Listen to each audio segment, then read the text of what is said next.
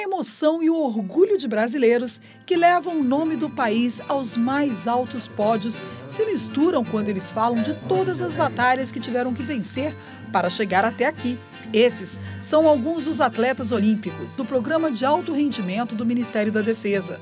Militares que carregam no peito títulos de campeões olímpicos. A história de cada um foi contada durante uma palestra motivacional para servidores do Senado Federal e da Câmara dos Deputados, no auditório Antônio Carlos Magalhães, do Interleges, em Brasília. Que é persistência, não desistir, espírito de equipe, saber trabalhar o físico e o psicológico juntos, né? E por fim, fazer algo que tem muito sentido pessoal, mas tem muito mais que o sentido pessoal. Com olhos e ouvidos atentos, os estudantes do ensino médio fundamental, além de jovens do programa Menor Aprendiz do Senado Federal, que também participaram do encontro, não perderam nem um minuto da apresentação. É inspirador eles incentivando a gente, né, dando, falando um pouco da vida sobre deles.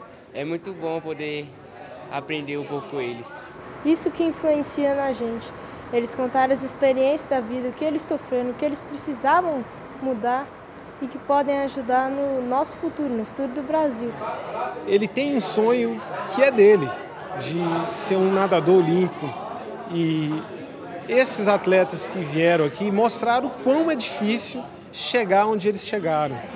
Mas a persistência, a coragem, a determinação de cada um deles trouxe para eles essa, esse momento de glória. Trajetória de sucesso, servindo o país, sempre na busca de conquistar um sonho, marcaram esses militares atletas que viram suas histórias de grandeza e superação no esporte se unirem à carreira militar. Todos nós, com certeza, ficamos emocionados com esses exemplos de atletas e de militares que, com certeza, é, darão um exemplo muito grande para nossas crianças, nossos jovens para próximas Olimpíadas, próximas competições que vierem pela frente. 28 vezes campeão brasileiro, além de cinco medalhas de campeão sul-americano absoluto, dentre outros vários títulos, como finalista olímpico do Rio 2016 e nos Jogos Olímpicos de Atenas em 2004, na modalidade saltos ornamentais, Hugo Pellicer Parisi, terceiro sargento da Marinha, conta da realização de cada conquista. O feito ele é todo nosso, mas mais uma vez que a gente conquista, ele é de todo mundo. Né? Isso é muito legal. A gente se esforça, se esforça ao máximo, mas essa medalha não, não é minha, essa medalha é do Brasil. Eu acho que isso que é, que é o bacana. Assim. Acho que todos os, todos os atletas eles têm, eles têm isso na cabeça. Né? Eles pegam toda aquele, aquela vontade que eles têm de ganhar essa medalha, mas essa medalha são para vocês. Né? Acho que essa, essa é uma coisa muito bonita de todos os atletas. Velissa de Souza Gonzaga, assassado vôlei, terceiro sargento do Exército, carrega títulos como tetracampeã sul-americana em La Paz 2005, Rancagua e Santiago 2007, Porto Alegre 2009 e Lima 2011.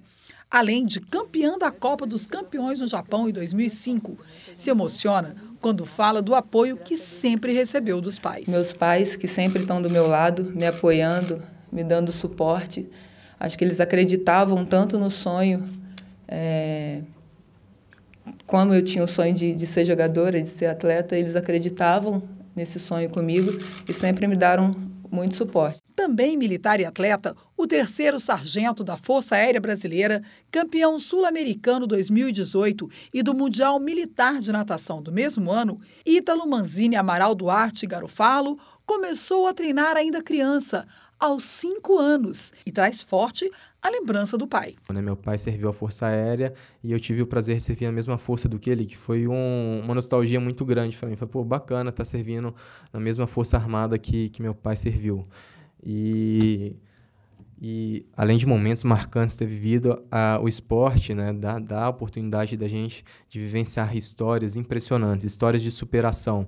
Né? Não só a minha história de superação, o, o, o garoto que veio de uma cidade de interior, que não tinha estatura para participar da prova e mesmo assim conseguiu participar de uma Olimpíada. Superações muito marcantes e que eu tenho certeza que vão carregar, que eu vou carregar comigo por o resto da minha vida e que foram uma lição muito grande para mim. Mostrando com emoção a medalha conquistada ainda quando representava o Brasil nas quadras de vôlei. A agora senadora e também atleta Leila Barros lembrou das dificuldades geralmente enfrentadas no decorrer da carreira. Nascida em Brasília, a ex-atleta se projetou na seleção brasileira e disputou os Jogos Olímpicos de 1992, 1996 e 2002, colecionando medalhas de bronze nas duas últimas edições. Em 2000, foi eleita atleta do ano pelo Comitê Olímpico Brasileiro, o COB. Mas foi difícil isso aqui que eu estou trazendo para vocês. Então, eu trouxe a minha medalha olímpica, a primeira do Brasil no voleibol feminino. Muitos não tinham nascido ainda, mas alguns já estavam. Então eu trouxe muito na expectativa dessa fantasia dela, mas não tem problema não. É só para vocês. É, esse aqui foi suado. É muito difícil ser medalhista olímpico, ainda mais campeão olímpico. Para todos esses militares e esportistas, fazer parte do programa de atletas de alto rendimento do Ministério da Defesa é um grande orgulho.